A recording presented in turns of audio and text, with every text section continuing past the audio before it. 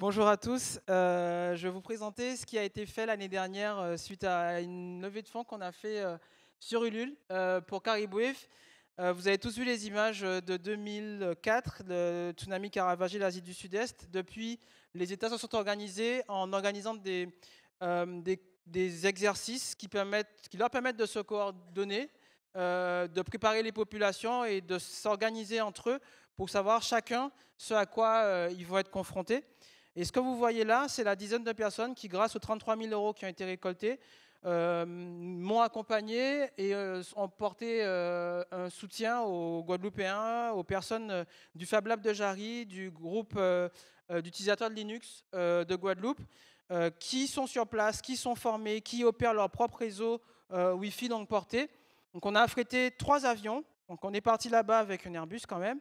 Arrivé là-bas, on a affrété trois avions, on avait deux drones, euh, on a posé des capteurs sismiques, on a développé euh, un certain nombre de logiciels qui sont tous euh, en ligne pour pouvoir remonter de l'information sismique, héberger de la des kilomètres carrés photographiés par les dronistes que vous voyez là. On a relié l'île de Marie-Galante sur 34 km à la Guadeloupe continentale, 25 km pour l'île de la Désirade on avait notre propre antenne relais euh, que, Microsoft nous a, mis à disposition, 4G, euh, pour prouver que le cell broadcast est une norme, un standard qui doit être adapté en France en cas d'urgence. Euh, tout ce que vous voyez là est documenté en ligne. C'est un film muet en fait que, que, l'on a voulu faire pour pouvoir montrer la capacité de la société civile à se mobiliser face à des crises majeures. contrairement à un séisme ou un attentat, le tsunami est une crise qui est prévisible. C'est-à-dire que vous pouvez, vous avez, là en l'occurrence sur cet exercice-là, une heure pour évacuer le littoral, euh, euh, du littoral les populations qui sont exposées. C'est ce qu'a fait la Nouvelle-Zélande. Quand vous regardez les sites euh, de la sécurité civile néo-zélandaise, les plans d'évacuation sont déjà en ligne. les appels, les alertes sont diffusées sur les réseaux sociaux sur le cell broadcast. Alors, je parle de cell broadcast depuis tout à l'heure. Le cell broadcast, c'est alerte cellulaire. C'est le, le, protocole qui est prévu dans la lampe 2G, 3G, 4G pour pouvoir diffuser massivement euh, sous forme d'SMS. Donc, c'est un, message flash qui arrive sur votre téléphone, qui sonne d'une manière très particulière et qui vous, si, on l'avait, vous sauriez tous comment ça sonne. Aujourd'hui, en France, la France est l'un des rares pays qui n'a pas adopté ce protocole libre, documenté, qui a été inventé à Paris en 1997. 19 ans plus tard, les pays limitrophes de la France en disposent. Les États-Unis l'utilisent pour les tornades, les ouragans et un certain nombre de, crises.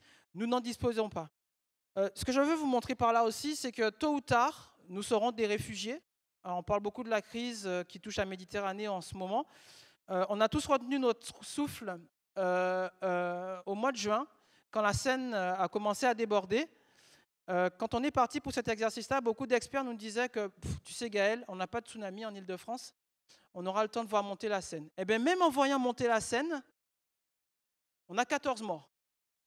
Et si je vous pose la question aujourd'hui de savoir, est-ce que vous savez quoi faire le jour où la Seine va encore remonter Si la Seine remontait encore aujourd'hui, est-ce que vous savez où aller? Est-ce que vous savez comment l'État va vous alerter? Est-ce que vous savez où vous réfugiez? Vous montez, vous descendez, vous évacuez les gens ne savent pas quoi faire. Et encore pire, ils, sont mal alertés. Je ne vais pas faire de sondage, mais combien d'entre vous ont téléchargé l'application mobile SAIP C'est une application qu'il faut faire.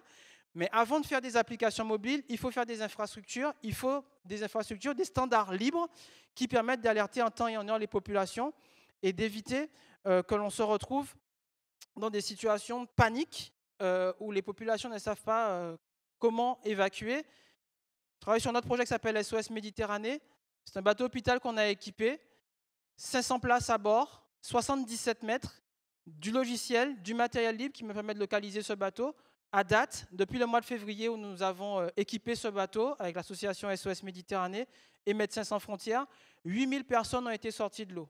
Sans logiciel libre, sans Internet, sans connectivité, pas de voie sur IP, pas d'appel d'urgence, pas de bateau qui se dirige sur des rubberboats avec des populations, des personnes qui sont en train de, se noyer. C'est ce qui est arrivé à 14 Parisiens, 14 Franciliens, malheureusement au mois de juin. On fait tout en tant que société civile, avec tous les moyens dont nous disposons, toutes les données historiques dont nous disposons. 70 000 morts d'un tsunami en Méditerranée en 1908. On sait que la Méditerranée est une mer où il peut y avoir des tsunamis majeurs. Sauf qu'aujourd'hui, on parle beaucoup de big data, beaucoup de, jolis mots. Euh, toutes ces données ne servent à rien si on n'arrive pas à donner l'alerte. Ça sera mon mot de conclusion. Et je laisse la parole à Paul, si des questions. Ok Gaël, alors euh, vraiment tout ça c'est impressionnant. Puis moi que je, te connais depuis un petit moment quand même, j'ai vu que tu avais réussi quand même à, à, évangéliser la question. Parce que quand on a commencé il y a très longtemps sur Crisis Camp, je crois. On a commencé à 5 à la cantine. Oui, voilà, c'est ça. Bon, donc, euh, franchement, bravo.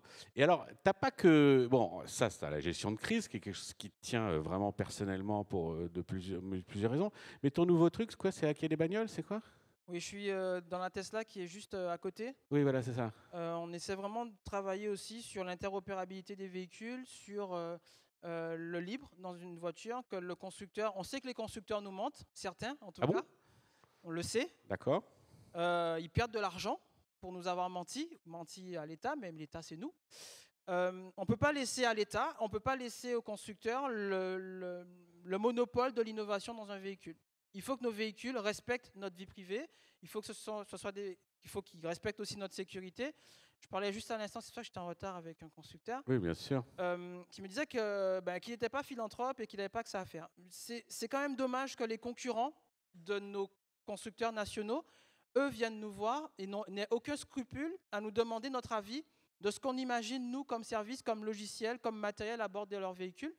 Euh, c'est des travaux que l'on continue. Alors, je suis peu à la fonderie pour ceux qui ne le savent pas, euh, mais que l'on continue sur une base aérienne, la base aérienne 105, avec des militaires, pour le coup, qui nous aident, qui nous accompagnent, qui nous hébergent et qu'on accompagne aussi euh, sur l'appréhension de ce qu'est aujourd'hui la sécurité à bord d'un véhicule, en dehors d'un véhicule, et que ce véhicule puisse être le plus interopérable possible avec les logiciels, le matériel, les données libres et les standards libres. Donc là, si les gens s'intéressent à ce sujet, enfin à ta personne, parce que maintenant que c'est un peu... Ça n'a pas d'importance. Oui, oui. Communauté, Et donc tu es à l'entrée à côté de, du petit restaurant là-bas. C'est ça. Hein, avec une belle voiture Tesla. Tesla Model X. Et tu, mais tu es prêt à travailler avec les constructeurs français quand même Ah mais je suis patriote, on a une console Facom juste à côté. D'accord. Euh, ben, fabriquée en France. On t'appellera, on t'appellera. Merci mon ami. Merci à vous. Bravo.